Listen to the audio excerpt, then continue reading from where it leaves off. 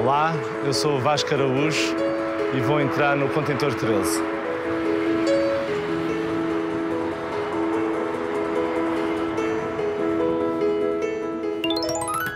Contentor 13, hoje à noite, na RTP2.